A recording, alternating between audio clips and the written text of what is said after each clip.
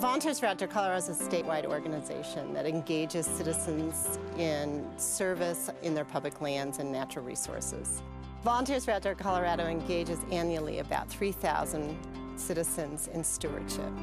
We work with corporate teams, we have a youth program, and we also have opportunities for individuals to work on weekends or week-long projects.